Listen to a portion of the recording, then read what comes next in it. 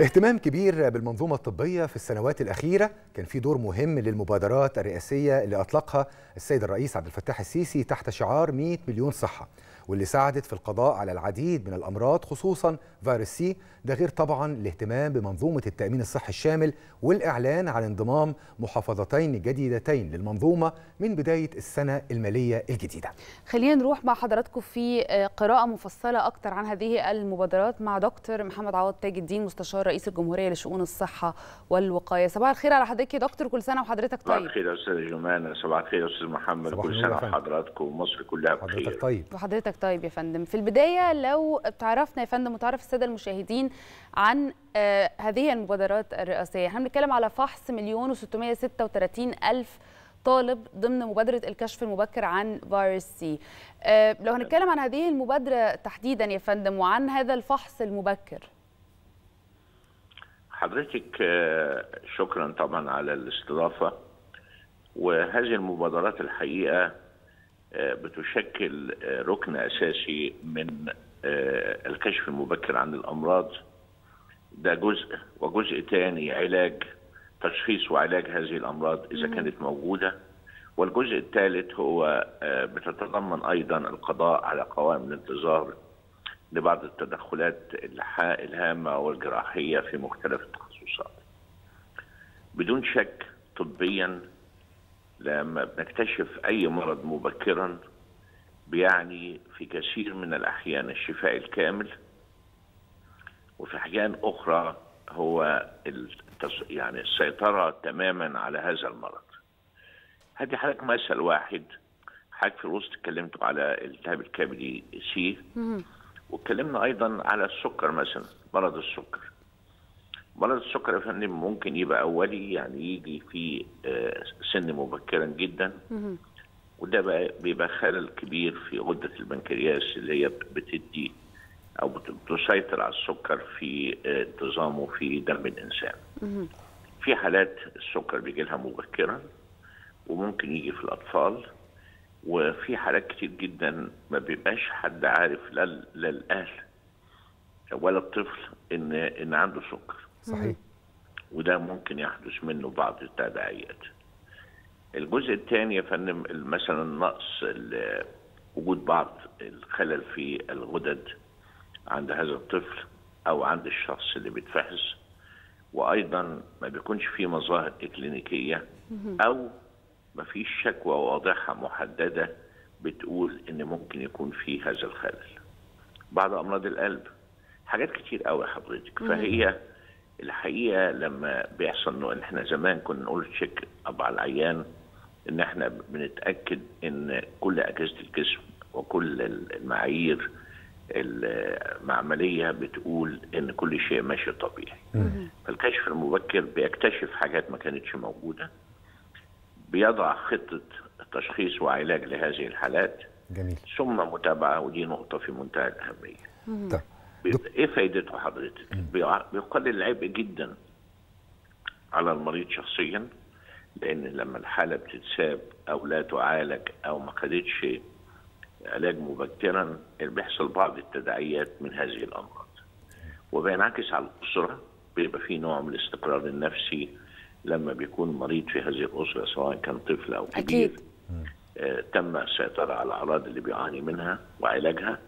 والحاجة الثالثه بيعود اقتصاديا على الأسرة وعلى المجتمع آه، بفوائد كثيرة جدا جميل. لأن طبعا لو قارنا التكلفة التشخيصيه والعلاجية لأي مرض فيه تداعيات أو فترة طويلة بتختلف تماما عن اللي بيكتشف في مراحل مبكرة طب ده عظيم جدا دكتور الكشف المبكر طبعا يعني اتفضل. يمكن نعرج بعد قليل على ال- ال- الكشف المبكر عن الأورام وبتنطبق عليها نفس القواعد ونفس الشروط جميل. يعني ملايين السيدات مثلا تم فحصهم للتأكد من عدم وجود أي أورام في الثدي جميل. أو امراض أخرى واكتشفت عدة آلاف من الحالات. هم السيدات ما كانوش عارفين أو. ما كانوش متوقعين أو ما كانوش عايزين يعرفوا إن في أورام في الثدي. لكن النقطة الهامة جدا إن الاكتشاف المبكر لهذه الأورام طبعا. في مراحل أولى بيعني بإذن الله شفاء تام من هذا المرض.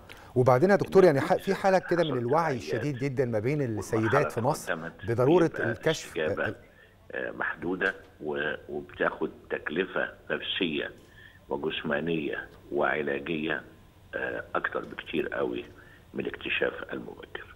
فالحقيقة هي فيها فوائد كثيرة جدا ورفعت المعاناة عن ملايين الناس وطبعا في اهتمام كثير جدا بالأطفال ونتج عن كده إن تم اكتشاف بعض الأمراض الوراثية أو الجينية عند هؤلاء الأطفال وبتوضع لهم خطة علاج ومعالجة بصورة مستمرة.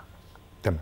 طب نروح مع حضرتك لملف آخر مهم جدا ملف التأمين الصحي الشامل تم الإعلان عن قرب انضمام محافظتين يعني لمنظومة التأمين الصحي الشامل هم محافظة السويس واسوان بعد نجاح التجربة طبعا في أربع محافظات قبل كده.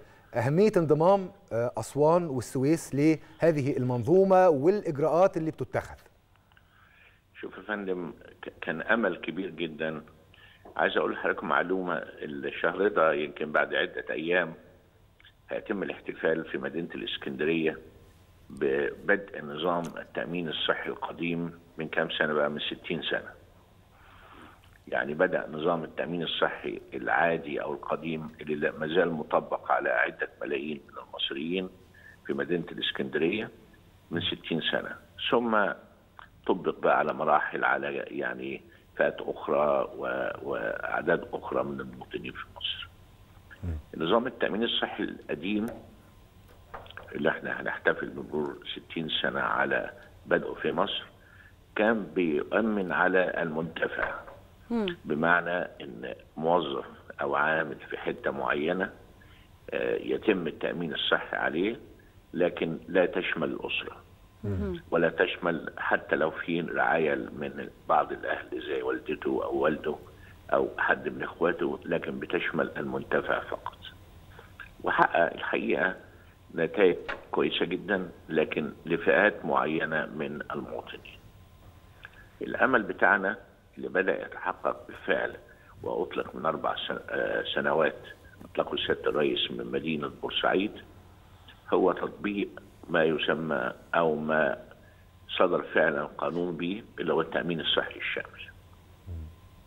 وعشان يكون تأمين صحي شامل بمعنى الكلمة يعني كل الأسرة كل أفراد الأسرة كل أفراد المجتمع المحافظة اللي بيطبق فيها التأمين الصحي الشامل بيطبق على كل أهل هذه المحافظة من كل الفئات أطفال وسيدات ورجال بيعملوا أو لا يعملوا في الدراسة أو خارج الدراسة إلى آخره.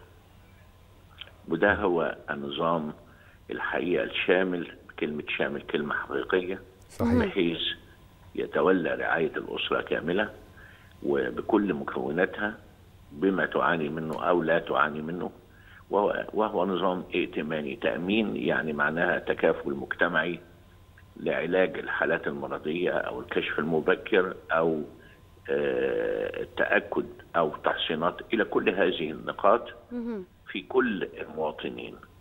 وبدأ تدريجيا لأنك أنت حضرتك الهدف انه يكون ناجح وفي استمرارية واستدامة. طبعا. الهدف إنك كل المؤسسات الطبية سواء مهما كانت تبعيتها سواء حكومية أو مؤسسية أو خاصة في هذه المحافظة يستفاد منها كاملا في تقديم خدمات التأمين الصحي. لكن في نقطة ثانية أنت عايز هذه الخدمات تقدم بفاعلية كاملة وبجودة شاملة وبأمان كامل للمواطن. عشان كده لما صدر قانون التأمين الصحي صدر معاه ثلاث قوانين. قانون التأمين الصحي الشامل هيئة الرعاية الصحية التي تتولى تقديم العلاج وهيئة الاعتماد والجودة والرقابة عشان تقول المؤسسة دي أو العيادة دي أو المكان ده صالح بالمستويات أو المعايير اللي إحنا عايزينها اللي فيها جودة عالية للمواطن صالحة لتقديم هذه الخدمات. هذه الجهات الثلاثة بتعمل على التوازي. هيئة التأمين الصحي هي هيئة جمع الاشتراكات وجمع الموارد والصرف على نظام التأمين الصحي. هيئة الرعاية الصحية بتقدم الخدمات في المؤسسات الصحية سواء مهما كان تبعيتها. وهيئة الرقابة والجودة بتقول المؤسسه دي صالحة لتقديم هذه الخدمات. هي دي المنظومة الكاملة. طيب دكتور محمد؟ كده بناخدها stepwise يعني بمراحل بحيث تضمن أن البنية الس- الس- الأساسية والبنية البشرية المؤسسية والبشرية والمالية في هذا المكان تصلح لهذه الخدمة.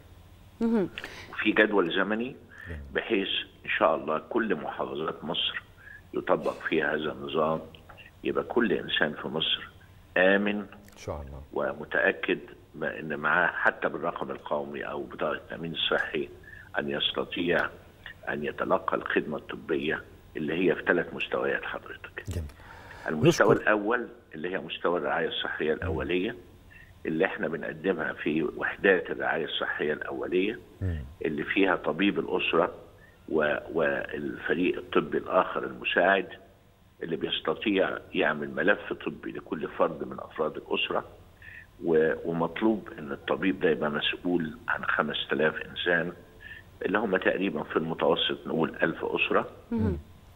انه يعمل لهم بطاقات آه، يسجل فيها بياناتهم ويتابع حالتهم ويقدم صحيح. الرعاية الأولية وهي حزمة من الخدمات يستطيع طبيب الأسرة أن يقدمها لهذه الأسرة سواء أطفال أو سيدات أو رجال. ثم لو احتاج الأمر إلى حالة بيروح لل- للمرحلة الثانية اللي هي الرعاية الطبية الثانوية. صحيح. وهو عدد من وصل أو مستفيدين حتى نعم. الآن من هذه المظلة وصل إلى حوالي 4 مليون و600 ألف مواطن لتقديم خدمة طبية تليق بالمصريين. بنشكر حضرتك جزيل الشكر الدكتور محمد عوض تاج الدين مستشار رئيس الجمهورية لشؤون الصحة والوقاية. صباح الخير على حضرتك.